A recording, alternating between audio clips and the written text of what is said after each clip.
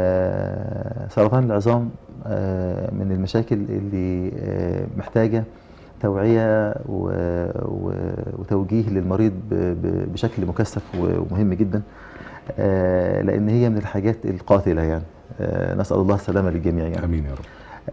لكن ال ال ال الأساسيات اللي أنا أتبعها الابتعاد عن كل ال ال ال العوامل المضرة.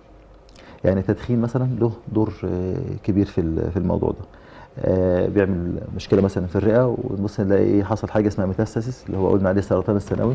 أشهر ال ال الأعضاء اللي بتبعت؟ السرطان للعظم حاجة اسمها BLBL اللي هو ال brain المخ. الرئة ال- ال- ال lung الرئة قلنا. وال liver اللي هو الإيه الكبد واخد بال حضرتك فالابتعاد عن كل قلنا اولا الابتعاد عن كل العوامل اللي ممكن تصيب الإنسان بضرر عدم الإفراط في آه، في آه، في كل ال- ال- العادات ال- الغذائية أو أكلات ال- ال take away ال- وال fast food. مثلا.